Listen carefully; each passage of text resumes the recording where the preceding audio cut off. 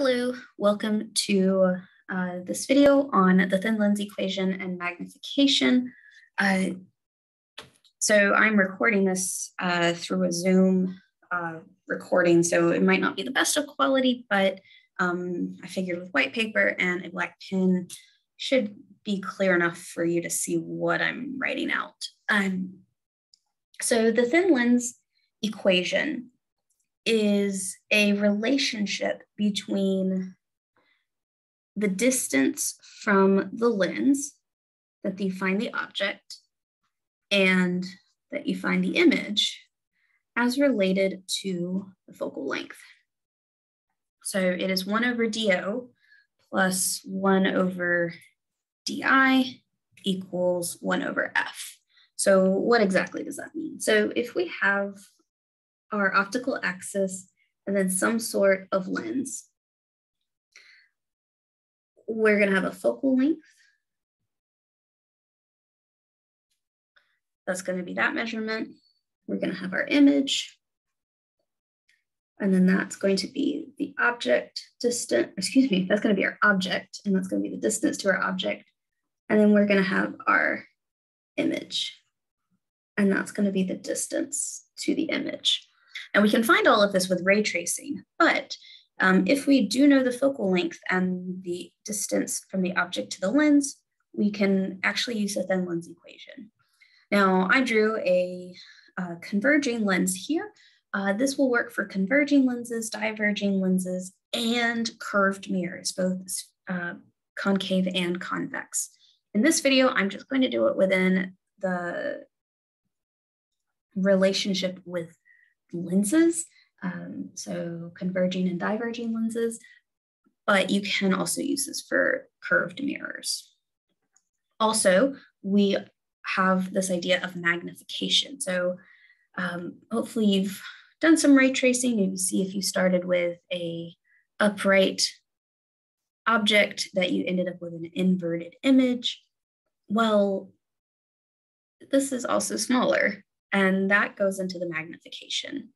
So the magnification that is the result is also a relationship of the distance to the image and the distance to the object.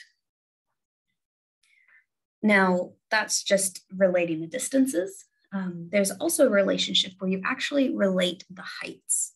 And this one is a little bit more um, precise. We want to take the absolute value of the magnification. Yes, the magnification can be negative. We'll talk about in just a moment what that means. Uh, but you can relate the image height to the height of your original object. Okay. So I do want to make one note before I go through the sign conventions real quick. Um, I like to do DO and DI, the distance for the object and the distance for the image. Um, but I will be referring to our Knight textbook. Um, well, as I'm making this video, the, the textbook I'm using for my class is the Knight textbook. Um, it is the AP edition, third edition from Pearson. And they will use S and S prime. Um, those are the same thing as DO and DI. Uh, feel free to use whichever one you wish. Um, does not matter to me. Um, if you're not my student, then check with your teacher. But um, I find DO and DI just to be more straightforward, but of course, use what your teacher wants you to use. Okay, sign conventions. So yes, um, any of these variables, DO, DI, F, and M, can be positive or negative. Again, I'm using the Knight textbook, so I'm going to show you my favorite little cheat sheet from Knight. So this is on page 593. It's actually a summary um, page. I'm going to scroll down here. Perfect. And so there's that thin lens equation here. Again, notice how Knight uses S and S prime, magnification there. But then these are the sign conventions. So the distance to the object is always going to be positive. Um, we don't worry about the negative examples in this course. Um, it is possible, but it's not something we concern ourselves with. We are always going to orient our ray tracing and our, our math set up so that our object distance is positive. Okay. And then the image distance. If you get a positive image distance, it's going to be a real image. And it's going to be the opposite side of the lens um, from the object or in front of the mirror. So like I said, in this video, we're just gonna do lenses, but note it also does work for mirrors as well. If you get a negative image distance, know that it's gonna be on the same side as the lens and will be virtual. The focal length is a positive converging lens or negative when diverging. And that magnification, if it's positive, the image is upright. And if it is negative, then the image is inverted. Okay. Like I said, this is really important. Um, I would know these conventions and then also practice to help you get better with those conventions. So we are going to do an example problem. Um, so this one is a two centimeter tall object is 15 centimeters in front of a converging lens that has a 20 centimeter focal length. Calculate the image, position, and height. Now, I did not have to tell you that it was a converging lens simply because that focal length is a positive 20 centimeters. That should have been your note to say, hey, this is going to be a converging lens. So good physics problem solving strategy, we start with our knowns and our unknowns. So our the height of our object is two centimeters.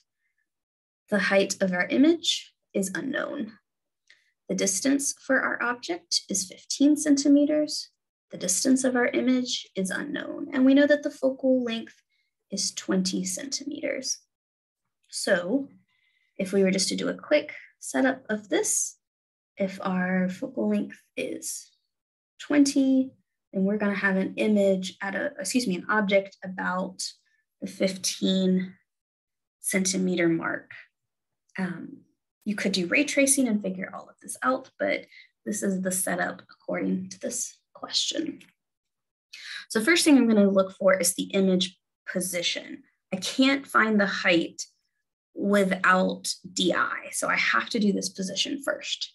So I'm going to do my lens equation. And then I'm gonna rearrange this for DI. Um, so I always do 1 over di and then subtract the 1 over do first. But notice this is going to be 1 over di. So ultimately, you have to do 1 over this whole thing over here. So what the way that I plug this into my calculator, because it's mathematically equivalent, is just to raise everything to the negative first power. I would encourage you to do so. It's a lot fewer steps in terms of what you have to plug into your calculator. And then we're going to do 1 over 20 centimeters minus 1 over 15 centimeters. And yes, you can use centimeters in this because as long as you're consistent, then everything you find will also be consistent. So before I plug this in the calculator, take a moment. Um, is this going to be a positive number or a negative number? Right, it should be negative, which means from our sign conventions, we're going to be looking at a virtual image on the same side as the lens. So we're going to expect DI to be somewhere over here. Not sure where, but we are going to do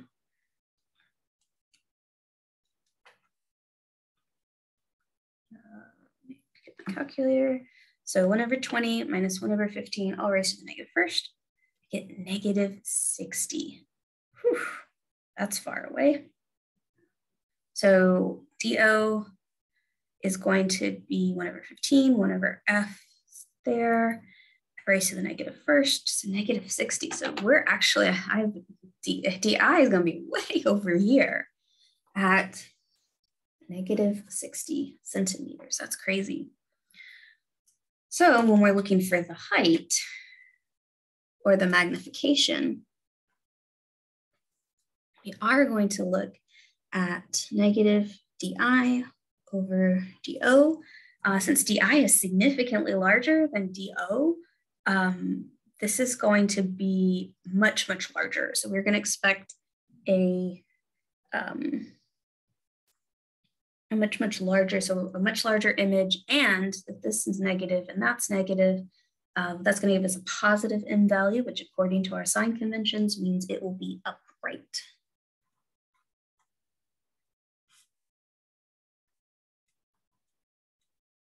So this is going to be four. So it's a magnification of four. So to actually find the height, again, the absolute value of our magnification is the image height over the object height. So our image height is the object height times the magnification absolute value. So our image height is just going to be two centimeters times the magnification of four. So our image height is going to be eight centimeters. So those are two values. Now, if you wanted to do ray tracing to verify that those are correct, um, that's what you would see, but just be aware, 60 centimeters. Um, hopefully do that to scale. So we'd be looking for an object. Uh, see, that was to extend this. Oh, it would be way out here and way up here and would be actually supposed to be four times. It's only about twice as tall. So it would be three times out and four times taller. Okay, and so that is my worked out example. So I'm going to give you another example, except I'm gonna ask that you pause the video and work it out on your own. Um, this is, is just much better to try it out on your own before I go through it. Um, and then you can check yourself. So take a moment, pause the video, try this out.